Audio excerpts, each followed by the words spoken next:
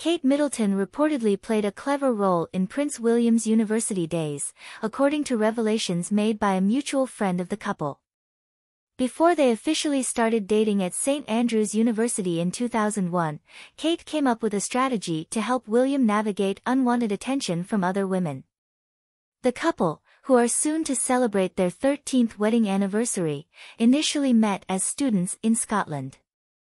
As Prince William found himself the subject of advances from various women, Kate allegedly intervened during a party when William was feeling uncomfortable with a persistent admirer. With a simple gesture of putting her arms around him, Kate implied that they were already together, allowing William to politely deflect the unwanted attention.